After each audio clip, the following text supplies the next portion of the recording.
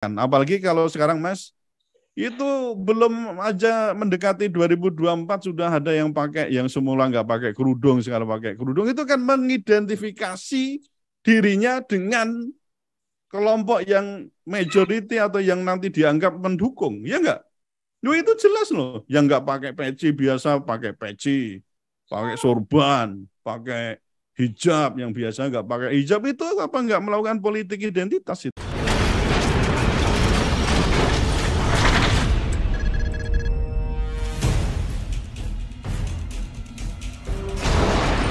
Baik, Assalamualaikum warahmatullahi wabarakatuh. Waalaikumsalam warahmatullahi wabarakatuh. Alhamdulillah, alamin. Saudara sekalian, di mana pun saudara berada, khususnya para narasumber, ada Mas Heru Subenu Arif, ada Mas Wahyudi Almarogi, juga Mas Chandra sendiri, dan juga para pemirsa di mana pun saudara berada. Baik, kita perlu memahami lebih dulu, saya kira, mengenai apa itu politik identitas dan identitas politik gitu ya. Nah soal identitas itu saya kira setiap diri itu memiliki di mana identitas itu memuat tentang ciri ya sifat atau juga karakter yang spesifik sehingga kalau dalam ilmu sosial kita juga mengenal adanya identitas sosial. Nah, saya juga punya identitas ya. Kalau nanti bergabung dengan masyarakat juga juga punya identitas yang bisa saja itu menyangkut persoalan karakter tentang diri sendiri atau mungkin karakter dari asal muasal atau ya ada aspek aliran bisa juga aspek eh, persoalan agama atau mungkin juga persoalan primordial. Nah, kalau kita bicara tentang dihubungkan dengan politik, maka nanti kita akan menemukan dua istilah yaitu ada identitas politik atau political identity yaitu identitas eh, yaitu konstruksi yang akan menentukan posisi kepentingan dalam suatu komunitas atau masyarakat. Itu namanya identitas politik. Nanti saya kira setiap partai juga punya identitas tersendiri ya identitas politiknya apa? Apakah misalnya di background dengan persoalan aliran juga atau mungkin juga kepercayaan atau mungkin ya kalau tadi soal aliran bisa saja aliran uh, politiknya apakah dia nasionalisme atau mungkin juga lebih ke apalagi ke bercirikan keagamaan dan seterusnya. Nah, kemudian yang kedua adalah politik identitas. Kalau tadi identitas politik, lalu yang kedua adalah politik identitas atau political of identity. Nah, Politik identitas itu merujuk kepada suatu mekanisme pengorganisasian identitas ya tertentu untuk kepentingan tertentu juga. Nah, politik identitas itu secara umum difokuskan kepada proses menemukan perbedaan-perbedaan yang didasarkan pada simbol tertentu. Nah, apa itu simbol? Misalnya fisik atau ras, ya, jenis kelamin, kemudian juga termasuk eh, aspek keagamaan itu bisa saja ya aliran nah, termasuk di situ. Meskipun demikian prakteknya identitas politik dan politik identitas itu memiliki keterkaitan yang satu dengan yang lainnya. Kenapa begitu? Karena politik identitas itu mendasarkan dirinya kepada identitas politik yang telah dimiliki baik berupa latar belakang keturunan, mungkin juga kesukuan maupun dari latar belakang yang secara sengaja dibentuk. Misalnya ada pendidikan, ekonomi, kultur, dan seterusnya itu. Nah, kita bicara tentang apa sebenarnya tujuan politik identitas itu. Antara ini yang pertama adalah sebagai alat untuk menentukan posisi seseorang atau politisi yang akan menjadi ciri kesamaan dengan kelompok tertentu. Sehingga selain akan memunculkan sikap kepemilikan, juga akan memunculkan sikap dukungan dari kelompok yang dimaksud. Lalu yang kedua, sebagai alat yang sengaja dibuat untuk mempertegas perbedaan identitas dengan kelompok yang lain. Nah, dalam prakteknya hal ini digunakan untuk apa? Untuk menunjukkan superioritas terhadap kelompok yang dianggap lemah atau ya baik dari sisi kualitas maupun dari sisi kuantitas. Nah, itu jadi nanti juga akan berhadapan itu persoalan minoritas, mayoritas dan seterusnya itu. Nah, jadi kalau kita bicara tentang kedua hal itu apakah itu politik identitas atau identitas politik, terutama kita kaitkan dengan eh, politik identitas itu saya kira kalau kita bicara tentang perpolitikan kita ya menurut saya sah-sah saja itu ya. Jadi tidak ada masalah. Karena memang dalam prakteknya sekalipun itu negara seperti Amerika, ya Mas Herusu ya, saya kira di Amerika juga tidak akan menghilangkan betul ya, apakah itu nanti misalnya taruhlah dibagi dua, ada buruh, ada republik misalnya, itu juga jelas ada identitas di situ.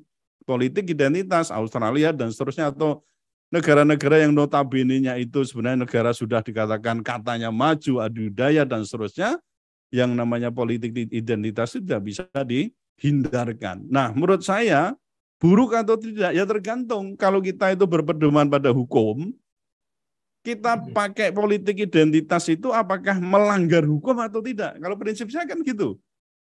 Jadi semua itu boleh kecuali dilanggar. Nah, kalau sekarang ada satgas, dasarnya satgas itu apa? Kalau di situ tidak ada pencemaran nama baik, tidak ada hoax, tidak ada larangan ya melarang dengan cara kekerasan. Kalau yang tidak boleh itu kan melarang dengan cara kekerasan Thomas ya toh misalnya ada orang kita halang-halangi, woi kamu jangan sampai memilih si A karena dia agamanya begini. Awas ya dengan ancaman atau dengan kekerasan itu yang tidak boleh.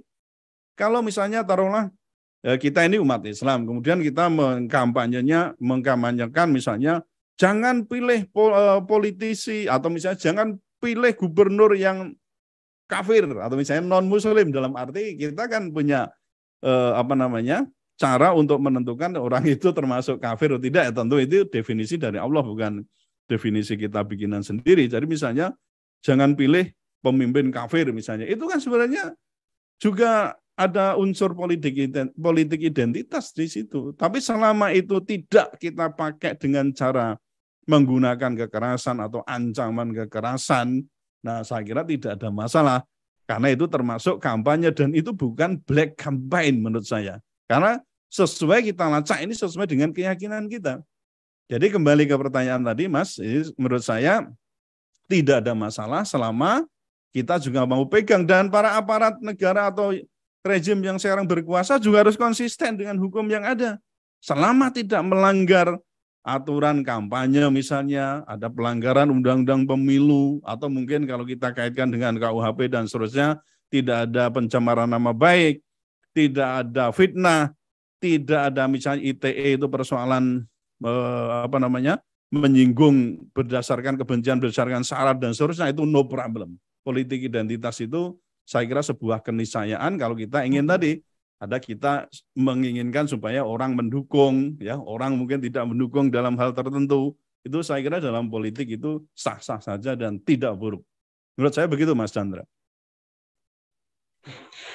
Baik Prof. Kalau misalnya begini Prof.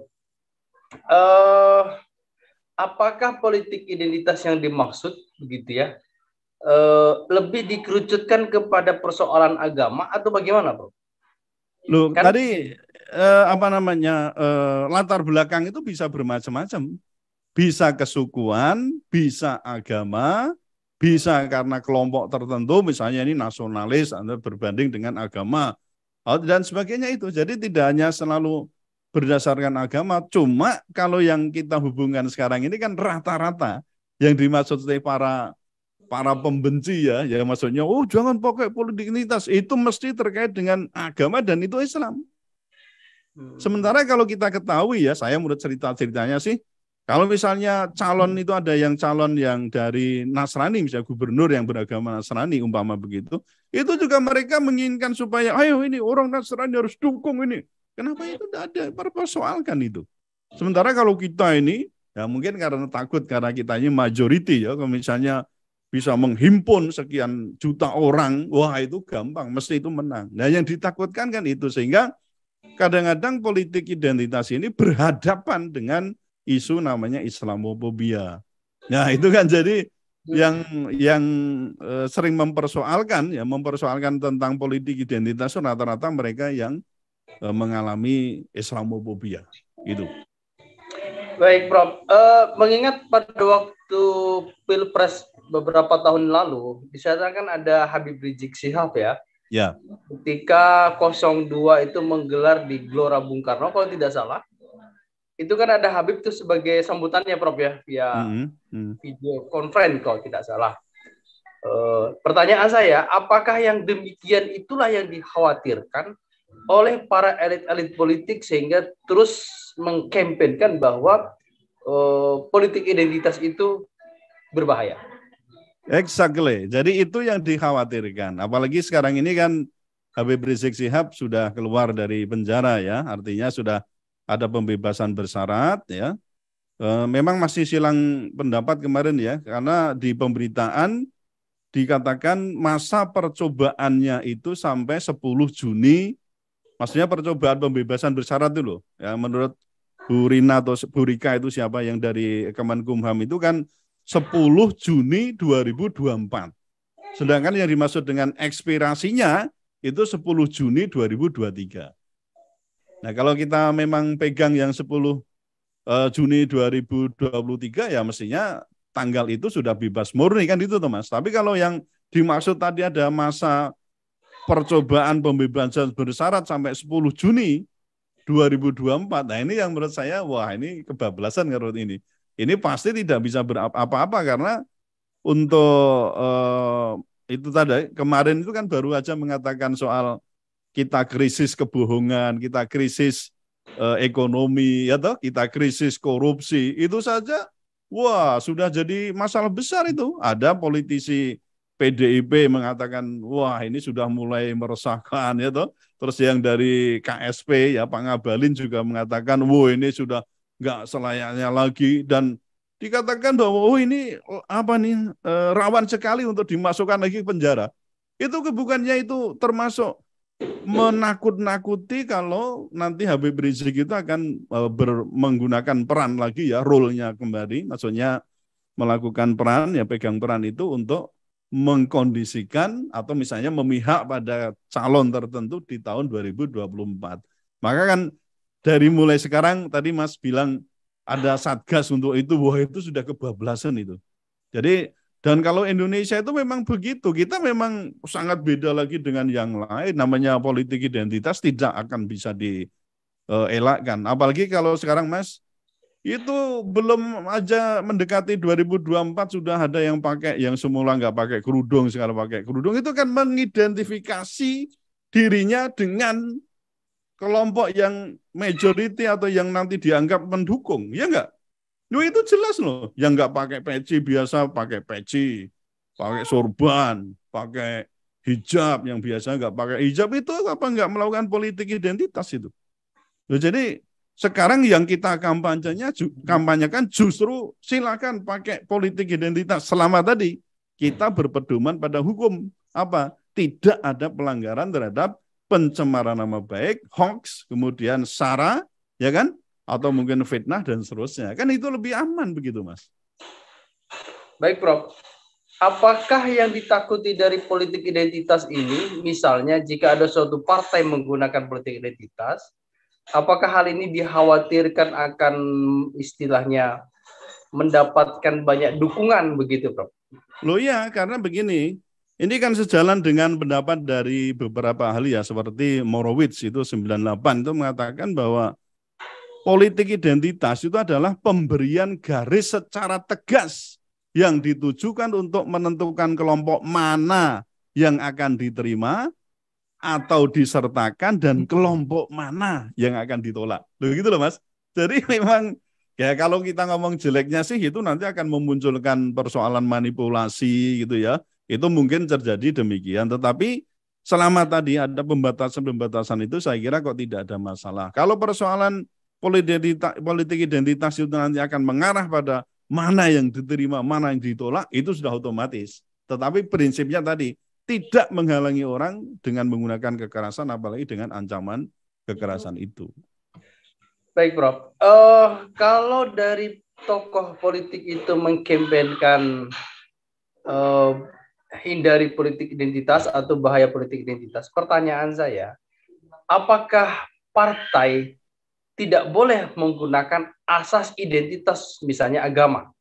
Sangat boleh. Wong menggunakan asas marhenisme, menggunakan asas saja apa yang nasionalisme aja boleh. Kenapa nggak boleh partai agama menggunakan eh, apa namanya eh, prinsip-prinsip eh, agama?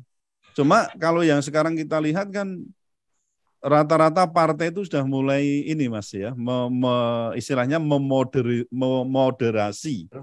PKS sendiri kan backgroundnya sebenarnya sangat agamis, tetapi ketika misalnya sudah mulai membuka untuk kepentingan umum, maksudnya uh, unsur-unsur lain ya. Kalau setahu saya ada yang bagian kesekretariatan atau apa itu yang juga beragama lain ya, beragama non Muslim misalnya itu seolah-olah memang membuka begitu. Tapi ketika sudah mau masuk ke ajang perhelatan politik seperti sekarang ini, mereka kadang-kadang akan kembali untuk me, apa namanya, me create atau ingin menentukan ya kelompok mana yang diterima dan kelompok mana yang akan ditolak. Jadi kalau menurut saya memang partai politik itu nanti pada saat, eh, saatnya tertentu dia akan kembali kepada identity. Meskipun tadi saya katakan sekarang sudah mengalami moderasi itu. Baik, Prof. E, pertanyaan saya, kalau misalnya partai itu dibolehkan menggunakan asas agama, Nah, ya berdasarkan atas agama misalnya, misalnya partai yang tadi Prof sebutkan atau partai yang lain, eh, kenapa kalau asas boleh menggunakan agama, tapi ketika campaign itu justru tidak boleh politik identitas? Ya, yang tidak membolehkan siapa? Tadi kan saya misalnya Bawaslu ya kan selama ini Bawaslu yang bolak-balik ngomong, oh jangan pakai dia kalau mau pakai politik identitas, kenapa nggak boleh selama tadi tidak melanggar ketentuan kampanye, melanggar ada KUHP, ada ITE, ada macam-macam, pakai aja. Saya kira tidak ada masalah. Siapa yang melarang? Mana hukum yang melarang menggunakan politik identitas? Yang penting kan ada batasan itu, kan itu. Kalau kita kembali ke hukum positif aja, Mas. Hukum positifnya bagaimana? Dan saya kira dari sisi moral pun selama tadi ya, jadi tidak ada maksudnya itu black campaign yang disertai dengan ancaman kekerasan atau fitnah atau menjelekan yang lain dan secara menghinaan dan seterusnya itu saya kira tidak ada masalah. Kalau sudah ada itu, wah kita jelas itu nggak boleh itu namanya betul-betul black campaign kalau itu. Nah, apa rekomendasi yang bisa Profesor berikan berkaitan dengan hal ini? Ya, jadi terkait dengan black campaign, jelas kalau black campaign itu kan e, dilarang ya tentu Bawaslu yang nanti akan menyemprit kalau itu sudah berlangsung masa kampanye. Tapi kalau untuk sekarang belum ada masa kampanye, paling itu kan isinya propaganda. Nah, propaganda hitam itu saya kira juga harus dilawan bahwa kalau saya sih prinsipnya dilawan dengan apa? Silakan pakai politik identitas dan saya katakan politik identitas tetap sah untuk digunakan selama tidak melanggar KUHP, Undang-Undang ITE, larangan kalau nanti sudah masuk di kampanye. Tapi kalau propaganda hitam ya kita lawan dengan propaganda yang putih gitu ya. Jadi jangan kalah kita. Pokoknya kalau itu mereka mengatakan begitu loh dasarmu apa? Kita kasihkan propaganda yang putih. Artinya apalagi kalau kita terkait dengan persoalan Islamophobia. Kita sudah beberapa tempat kemarin sudah mendeklarasikan untuk Eh, kita ada gerakan namanya gerakan anti Islamophobia. Nah ini kita salah satu cara itu mas untuk menggugurkan propaganda hitam bahwa tidak boleh menggunakan politik identitas itu opo. Nah makanya supaya kita juga bisa memberikan eh, counter gitu ya, kita harus juga memberikan propaganda atau melakukan propaganda melalui berbagai seminar, pertemuan-pertemuan bahwa silahkan pakai politik identitas, tetapi tadi syaratnya tentu kita harus perhatikan KUHP, Undang-Undang ITE dan juga larangan-larangan dalam perspektif uh, moral ya. Maksudnya jangan ada penghinaan, jangan ada apa namanya fitnah dan seterusnya itu. Saya kira yang penting di situ. Kemudian soal satgas itu memang kita harus cari itu uh, latar belakangnya apa kok dibentuk satgas anti misalnya politik identitas itu apa.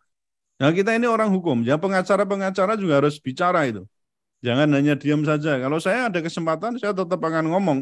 Apa itu maksudnya ada uh, satgas politik identitas? Itu nanti pasti akan kejadian bahwa kalau untuk kepentingan mereka itu mereka akan diam, apalagi buzzer-buzzernya itu. Buzzernya itu kalau untuk kepentingan mereka, misalnya itu pun itu ditengarai melakukan politik identitas yang menurut mereka itu enggak enggak diperbolehkan, tapi kalau mereka yang membolehkan diam. Tapi begitu nanti lawan atau orang yang dianggap berseberangan itu melakukan sekecil apa pun, misalnya politik identitas, akan dibesar-besarkan. Ya begitulah cara kerja buzzer itu. Jadi untuk Satgas ini saya tidak setuju dan harus kita minta pertanggungjawaban tuh. Ya kita bicaranya memberikan kalau kalau eh, apa namanya organisasi masyarakat dan seterusnya itu apalagi yang partai politik ya seperti kayak PKS kemudian ya kalau yang lainnya itu saya sudah hopeless ya yang saya lama ini untuk partai parpol ya saya masih bisa mengandalkan PKS meskipun ya eh, tadi saya katakan sudah mengalami moderasi yang juga cenderung wis angel lah untuk memiliki identitas yang jelas saja kadang-kadang kita sulit ya Mas, Mas Herisu ya. Wangel untuk punya identitas yang wow ini itu mempertahankan itu sulit. Karena apa? Ya karena mereka inginnya lebur ya. Kemudian eh, menghilangkan identitas yang seharusnya itu sudah dimiliki sejak awal itu. Jadi itu mas dua hal. Pertama black campaign kita lawan kemudian satgas kita pertanyakan atau kita mintai pertanggungjawaban apa itu alasan untuk dibuatkan satgas yang saya kira tidak bisa dipertanggungjawabkan secara hukum. Prof, terkait surat keputusan pembentukan satgas, misalnya secara internal, itu bisa digugat nggak, Prof, di pengadilan? Loh, lah iya itu. Kalau uh, itu internal mana itu? Misalnya, misalnya ya, misalnya kepolisian membentuk satgas anti ini, anti politik identitas misalnya. Kalau sekarang ya kalau mau digugat boleh saja. Makanya kayak tadi saya katakan ormas atau partai politik atau himpunan pengacara itu saya kira yang concern ya terhadap karena yang soal Islam uh, sorry uh, politik politik identitas itu kan lebih menyasar pada umat Islam. Kan begitu? Ya tadi Mas Heru sudah menyatakan itu lebih menyasar pada umat Islam. Jadi ya uh, kelompok pengacara advokat dan juga studi hukum kemudian ada ormas Islam, kemudian partai politik Islam itu harus bergabung menyatu, ya kita gugat itu untuk politik identitas eh, satgas politik identitas itu yang tidak berdasar pada hukum. Karena itu nanti toh bisa dikatakan itu pedang bermata dua itu. Sebenarnya itu ya pedang bermata dua. Ya cuma itu tadi saya katakan eh, kalau kepada mereka itu justru tumpul, tapi kepada lawan itu eh, sangat tajam sekali. Hmm, baik, baik, baik, baik, Baik, terakhir lagi, Bang. Yep. Saya khawatirnya Satgas anti apa anti politik identitas ini e, perannya atau kewenangannya memungkinkan nggak besar seperti Satgas COVID gitu loh, Pak. Saya kira tidak mungkin ya, kecuali itu di bawah misalnya, apakah itu di bawah Bawaslu atau apa. Karena nanti kalau eh, itu kan nanti terkaitnya tetap itu mas. Terkaitnya tetap akan pada pilkada maupun pemilu. Ya pemilu maksudnya pilpres dan pileg itu. Dua itu. Makanya kan ini tetap harus kita eh, pertanyakan juga keterkaitan dengan Bawaslu apa. Karena kan Mas tahu juga Bawaslu itu ada unsur satu dari kepolisian ya kalau nggak salah ya. Panwaslu Bawaslu itu kan ada unsur juga dari kepolisian. Itu kita mintai pertanggungjawaban. Selama itu tidak melanggar KUHP, eh, KUHP, Undang-Undang ITE dan juga kalau sudah masuk kampanye itu larangan kampanye, ya buat apa ada satgas yang secara tersendiri gitu loh. Itu mestinya menjadi kewenangan Bawaslu, bukan ada satgas tersendiri. Baik, terima kasih banyak Prof untuk ILF edisi 45 pada malam hari ini.